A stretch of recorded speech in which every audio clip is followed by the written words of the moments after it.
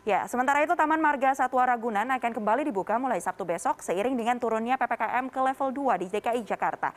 Anak-anak berusia di bawah 12 tahun juga diperbolehkan masuk dengan didampingi orang tua dan para pengunjung wajib menggunakan aplikasi Peduli Lindungi.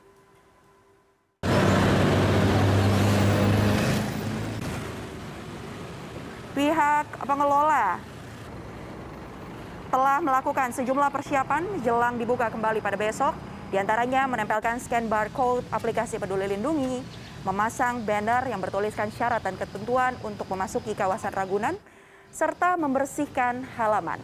Pada Jumat pagi, Kepala Humas Taman Marga Satwa Ragunan mengatakan anak-anak di bawah usia 12 tahun diperbolehkan masuk, tetapi dengan didampingi oleh orang tuanya yang sudah divaksin.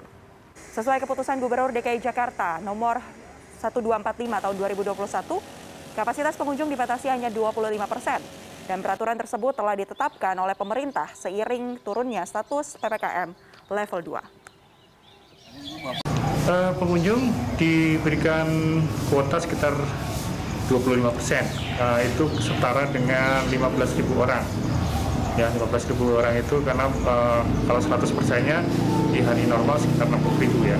Uh, kita harus ingatkan bahwa yang berkunjung adalah yang berKTP DKI Jakarta ya. Nanti uh, apabila pengunjung masih dari luar DKI, mohon maaf nanti akan kita uh,